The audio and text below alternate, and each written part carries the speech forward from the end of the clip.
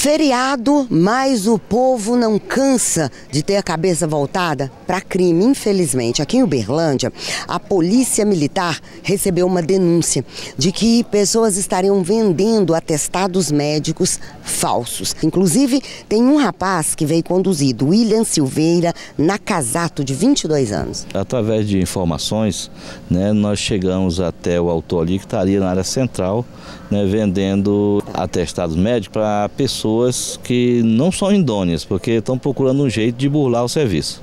William, afinal de contas, o que, que aconteceu? Qual que é a sua versão? Só fui entregar só, mais nada. De repente ele já pegou, já falou para nós realmente estaria vendendo por 50 reais a quantia, né? Teria uma segunda pessoa envolvida uh, com o nome de Arthur, mas que não está em Uberlândia.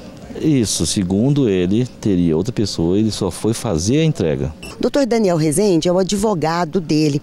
Doutor Daniel, afinal de contas, o que, que se passa pela cabeça do seu cliente? O senhor chegou a conversar com ele? Conversei. É, a princípio ele estava fazendo um favor para a pessoa de Arthur.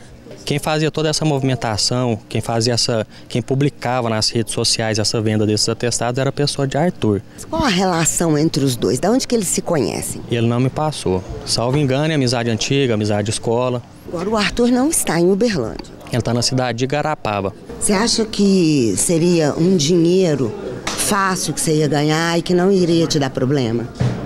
E eles fizeram esse, esse acordo, esse trato, seria através do, de WhatsApp, de Face, olha, entrega para mim e tal?